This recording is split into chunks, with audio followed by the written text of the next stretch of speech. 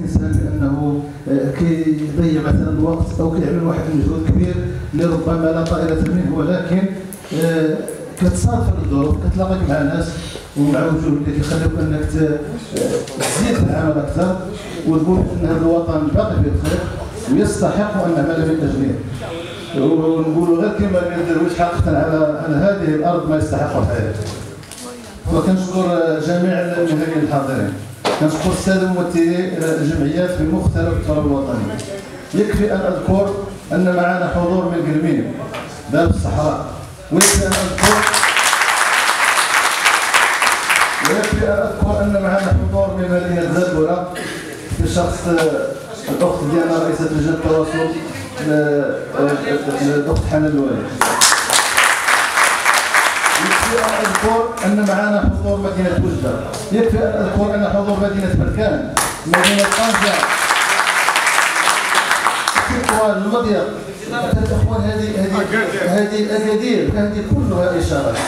كلها إشارات يجب أن نستوعبها ونحسن استغلالها فان ينتقل المهني الأخوان بهذه المسافات كلها ويقطع هذه المسافات كلها ويترك الشغل ديالو والعمل ديالو لا لشيء إلا ليحضر ندوة تنظم هنا وهناك حضروا معنا المهنيين في ندوه طنجه وحاضرين معنا اليوم في مدينة الرباط فهذا هاد الناس هذو كيعطيو اشارات لمن يهمهم الأمر بأن هناك وعي كبير يتبلور في هذا القطاع هذا بأن هناك ناس تمد يدها بأن هناك ناس لم تجلس مقاعدها ولم تجلس في أماكنها يعني تمارس تجارتها وتنتقل من بعيد ولكن هناك ناس تنتقل وتترك محلاتها لا لشيء إلا لتشارك في ايجاد الحل.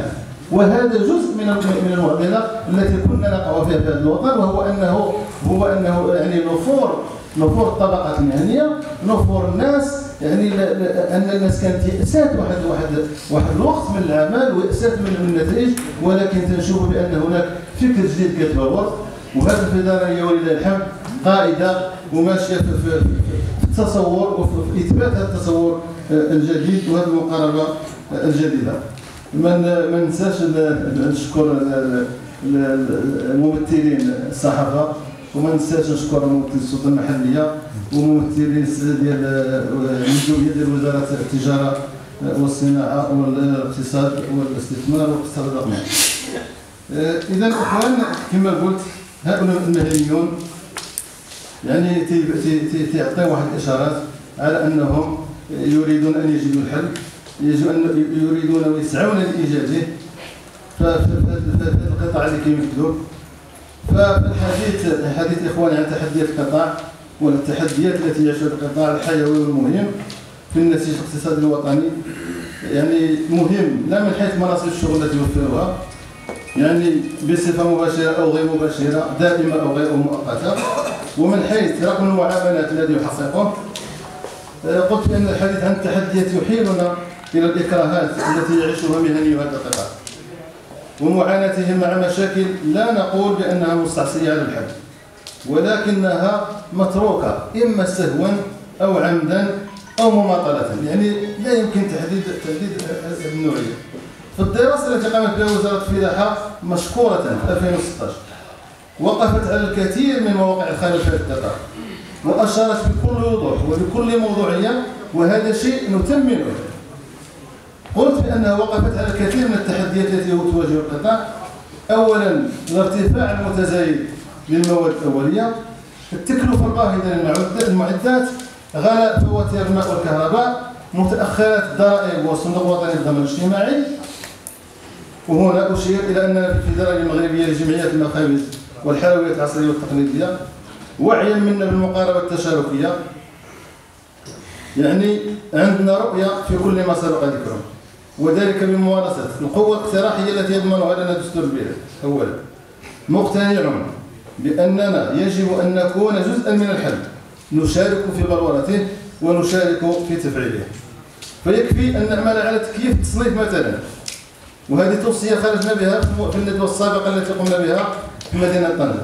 يكفي أن نعمل على تكييف التصنيف مع التعريفه فلا يعقل أن قطاعا كقطاعنا في التصنيف هو قطاع صناعي وفي التعريف هذه الكهرباء نؤدي كالقطع القطاع السكني والقطاع التجاري.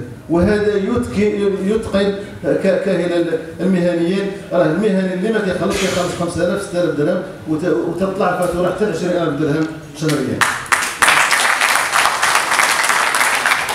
اما عن المتاخرات ديال الضرائب وهذا الصندوق الوطني الاجتماعي فتنظن بأنه ليست هذه هي أول ولن تكون آخر مرة تلجأ فيها الحكومة إلى اتخاذ تدابير استثنائية من أجل إنقاذ قطاع ما من القطاعات ما يجب أن ننسى أيضا هو الحكامه الإخوان. هذه مسألة أفردت فيها الدراسة الاستراتيجية جزءا مهما. سواء في شطرها الأول والثاني أو في مشروع البرنامج التعاقدي الذي الذي يعني اقرت على انها ستوقعه مع القطاع. وهذا كان قبل إنشاء الفيدرالية حيث أن القطاع كان يفتقر إلى حكمه مؤهله قادره على تمثيله وعلى التفاوض باسمه وقادر على تنزيل ما تهيئه الحكومة من ترسانة قانونية وما ترصده من موارد بشرية لتهيئ القطاع. الفيدرالية إنما جاءت لتغير مفاهيم كثيرة في مسألة الحكمة وفي مسألة التمثيلية. ذلك عن طريق اعتماد طرق مبتكرة وفكر متجدد حيث التواصل الاجتماعي حيث النت حيث البوابة الإلكترونية حيث العلامة البصرية التي ترونها أمامكم. وهذا مشروع إن شاء الله مشروع مقترح لشراكة مع الأنصار ويعني مع المكتب الوطني للسلامة الصحيه ومع غرف التجارة والصناعة من أجل إحداث دفتر تحملات.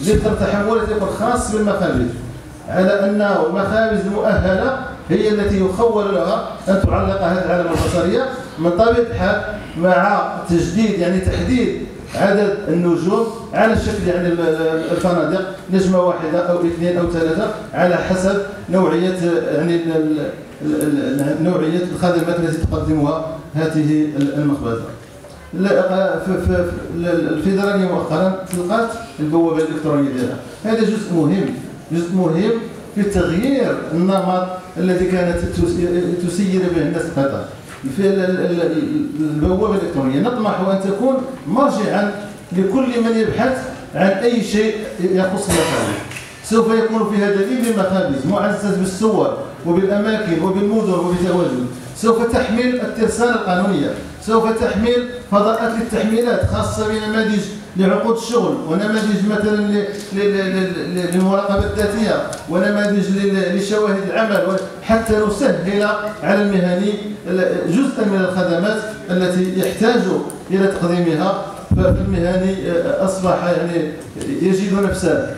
محتاجا ومضطرا إلى ممارسة مهن بعيدة عنه ربما هو بأمنيته أو بمعرفته البسيطة أو بفطرته ولكنه أصبح ملزما. قانونا أن يبرم عقود الشغل أن يسجل تصريحات الدار الصندوق الاجتماعي مطلع كل شهر أن يقدم شواهد اعمال أن يقدم شواهد يعني العقل السنويه للعمال فهذا يلزمه تكوين ويلزمه متابعه كما قلت الفيدرالية جاءت لتعطي روح المبادرة والاقتراح وعدم الاتكال على الحكومة وانتظار ما سوف تجود به. نحن نقولها ونعيدها نحن مقاولون مستثمرون نوفر مناصب شغل.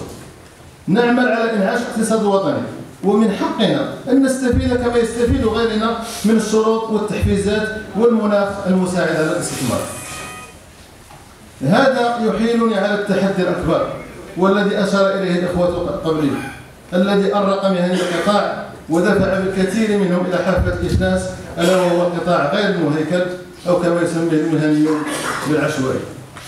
نحن كما قلت من حقنا أن نستفيد من مناخ يشجع على الاستثمار وعلى التنافسية وعلى تكافؤ الفرص. فقد أصبحنا أمام ظاهرة قائمة بذاتها تستحوذ على 50% من, من رقم معاملة السوق تشتغل خارج أي إطار قانوني لا رخص لا تصريحات لا ضرائب لا صندوق وطني للضمان الاجتماعي. يصنعون كل ما نصنع من حلويات وفطائر وخبز ومولحات وتقليدي وعصري في غفلة من القانون في ضرب لاقتصاد البلاد في تحد صارخ لأبسط أخلاقيات التنافس الشريف